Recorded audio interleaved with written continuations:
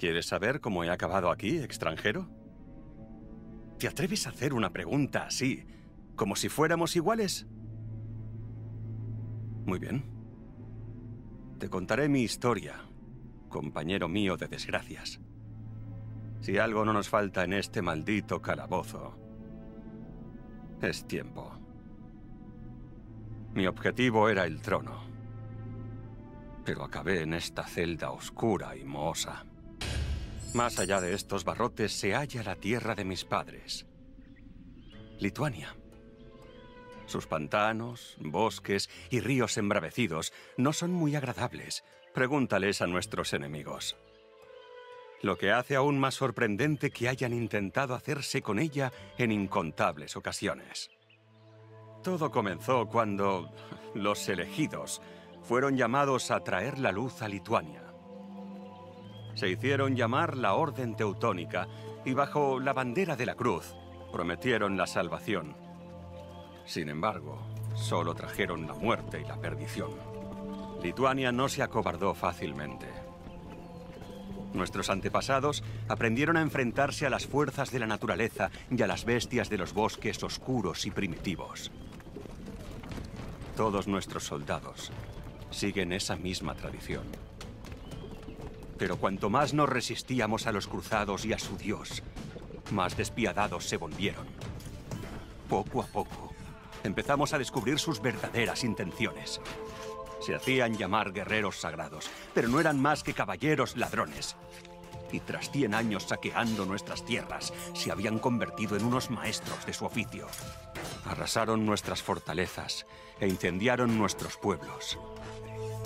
Si el gran duque Gediminas siguiera vivo, habría puesto en su lugar a estos codiciosos cruzados. Pero un maldito golpe de estado acabó con su vida, y el trono pasó a Jonutis, el inútil de su hijo. Jonutis era débil, pero lo peor es que creó divisiones cuando el pueblo necesitaba unidad.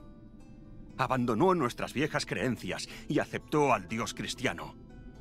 Como no pudo controlar los disturbios internos, el gran maestre de la Orden Teutónica aprovechó para hacerse con Lituania definitivamente. Sin embargo, los hermanos de Jonutis, Algerdas y Kestutis, se negaron a quedarse de brazos cruzados mientras su querida patria caía en manos de la cruz. Instaron a los príncipes descontentos a derrocar a Jonutis que se había atrincherado en la capital lituana de Vilna.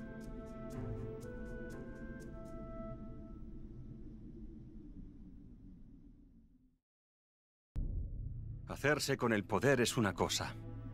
Poder mantenerlo es otra totalmente diferente.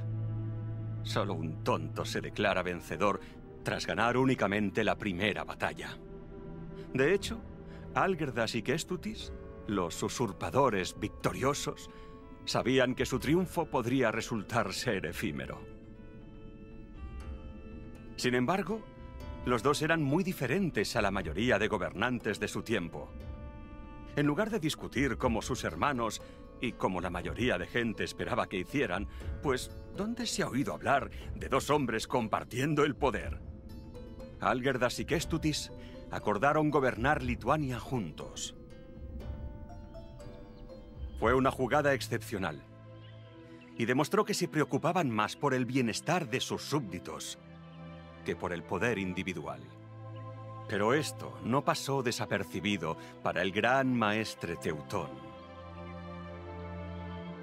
Sabía que a partir de ahora tendría que enfrentarse a enemigos mucho más formidables. Ven al este, haz la obra de Dios y serás recompensado no solo con conceptos difusos sobre salvación y eternidad, sino con tierras y dinero. Esa era la promesa de la Orden Teutónica y la razón por la que contaban con un suministro constante de caballeros belicistas. Cristianos nobles de baja alcurnia que se dejaban seducir fácilmente para probar suerte en Lituania. Era una estrategia tan ingeniosa como retorcida, y muy alejada de la misión sagrada que profesaban. Después de que los sarracenos los expulsaran de su tierra santa y los despojaran de sus propiedades en Oriente Medio, estos cruzados echaron el ojo a nuestras tierras en busca de sangre y riquezas. Cuando Algerdas se vio obligado a lidiar con los estragos que causaban las desafiantes ciudades-estado de Rutenia en la frontera lituana, los teutones vieron la oportunidad de invadir nuestra patria una vez más. Confiando en que el oeste de Lituania estaba desprotegido mientras Algerdas se ocupaba del este, los caballeros marcharon hacia nuestras tierras. No esperaban encontrarse con Kestutis, que se había quedado atrás para protegerlas. Kestutis les estaba esperando, deseando darles una lección a estos saqueadores con espada.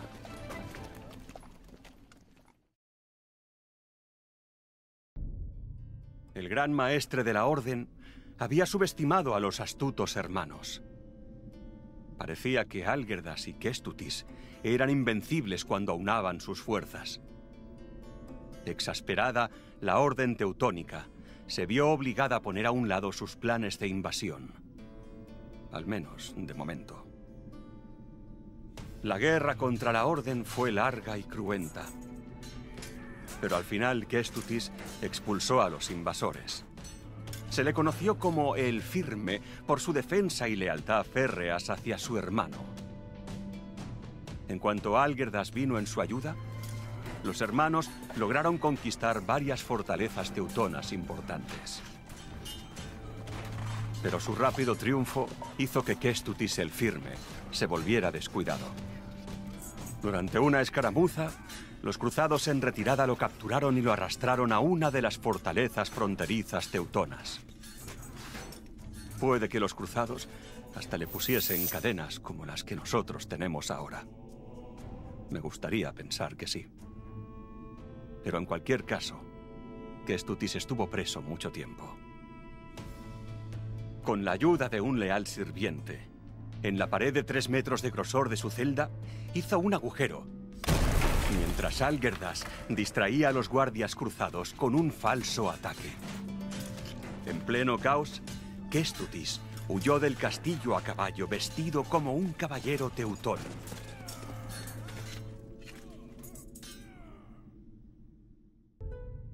Con los cruzados lamiéndose las heridas, muchos esperaban que Algerdas y Kestutis finalmente se peleasen por hacerse con el control del país. Una vez más, su lealtad sin precedentes mantuvo la paz y permitió que los hermanos se centrasen en expandir su reino. Al sureste de Lituania yacía la ciudad-estado de la antigua Rus. El yugo tártaro pesaba mucho en estas ciudades una vez florecientes. Cien años de tributos desorbitados a la Horda de Oro los habían dejado en la miseria, mientras que los canes construyeron palacios dorados a orillas del Volga. Con la horda debilitada por disputas internas, muchas de las ciudades oprimidas recibieron a los lituanos como libertadores. Pero otras no deseaban tanto cambiar un gobernante por otro. Los habitantes de la ciudad recién emancipada de Kiev vieron a los lituanos como una amenaza y se aliaron con sus antiguos señores tártaros, una decisión que Algerdas y Kestutis no aceptarían sin rechistar. El ejército lituano marchó hacia el sur con decisión, asaltando los principados de Chernigov y Pereslav en rápida sucesión. Los hermanos tenían como objetivo enfrentarse a la Horda de Oro y sus aliados en la estepa. Un movimiento audaz y arriesgado que ninguno se había atrevido a realizar antes. A pesar de sus disputas internas, los feroces arqueros tártaros montados a caballo aún se consideraban invencibles pero Algerdas y Kestutis estaban decididos a demostrar lo contrario. A menudo llamamos tártaros a los miembros de la Horda de Oro. Pero en realidad, la Horda está formada por un conjunto de pueblos turcos. Entre sus filas se encuentran jinetes con mangual de Bulgaria del Volga, cumanos de la estepa Kipchak y mongoles de Siberia. Un crisol de pueblos y culturas diversas. Todos unidos por la humillante derrota a manos de Algerdas. Cuando el ejército lituano marchó al sur, cruzando el Dnieper hacia Podolia, los Bek de la Horda de Oro se apresuraron a detenerlos. Pero fue en vano. Armados con lanzas y espadas, los soldados lituanos acabaron con la vanguardia de la Horda. Los tártaros no pudieron mantener sus formaciones y huyeron confusos, dejando a Sukán sin más opción que huir a Crimea. La sangre de caballos y guerreros asesinados por espadas y flechas tiñó de rojo la hierba seca de la estepa. La victoria decisiva de Algerdas propició la creación del Gran Ducado de Lituania, lo que le trajo tanto nuevos amigos como enemigos. Cuando la Horda de Oro estaba a punto de desmoronarse por completo, los principados Rus de Moscú y Tver fueron los primeros beneficiados. Mientras los tártaros discutían entre ellos, estos ducados se habían convertido en estados poderosos sin que nadie se diese cuenta. El Gran Ducado de Moscú fue gobernado por un príncipe llamado Dimitri, que había logrado acabar con el Khan de la Horda de Oro mediante ladinas estrategias políticas. Los recientes avances territoriales de Algerdas hicieron que Dimitri y él fueran vecinos, y los dos hombres esperaron como bestias salvajes a que el otro diese un paso en falso. Fue Algerdas quien dio el primer paso. Cuando el príncipe Mijail de Tver buscó ayuda lituana contra sus rivales moscovitas, Algerdas lo usó de pretexto. Junto al siempre leal Kestutis, que ya mostraba signos de su declive, reclutó un ejército y marchó sobre los dominios de Dimitri.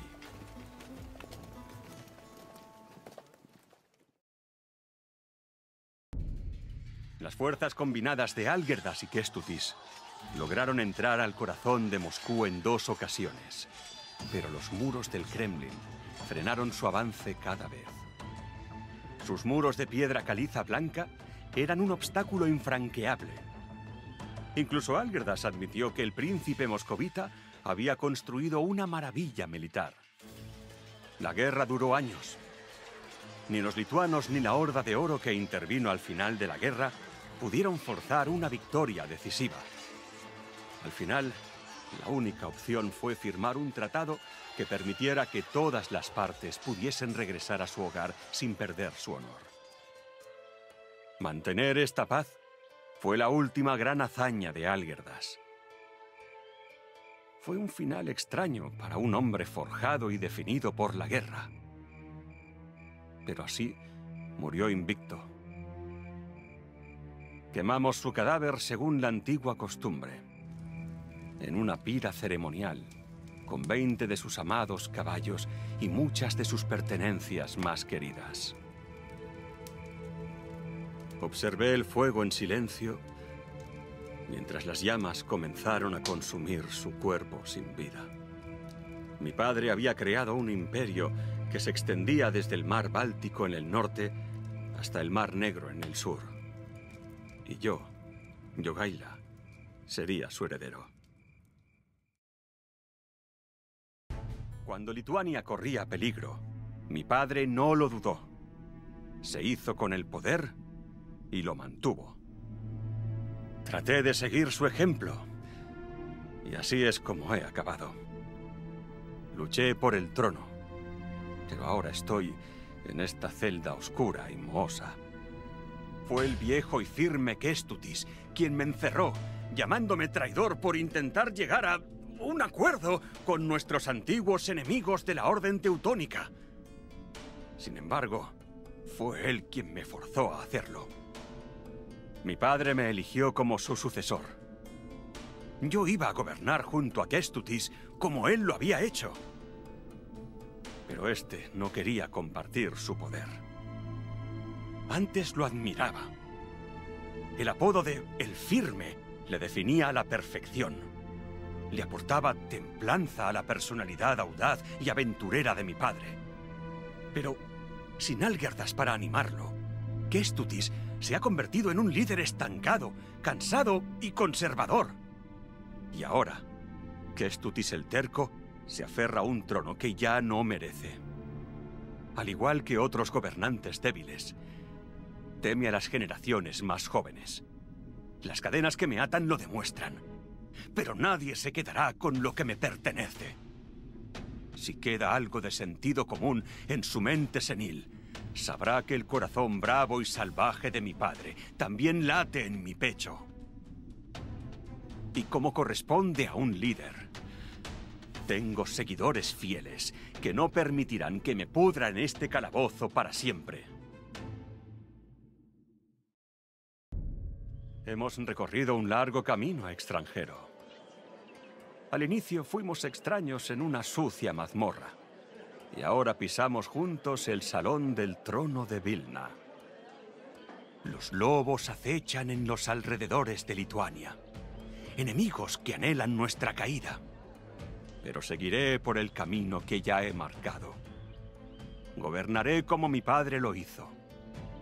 Y algún día, puede que incluso lo supere. Puede que nos volvamos a ver, extranjero, si tus viajes te traen de vuelta aquí. Pero aunque esto no pase, tengo la sensación de que esta no será la última vez que escuches el nombre de Yogaila, Gran Duque de Lituania.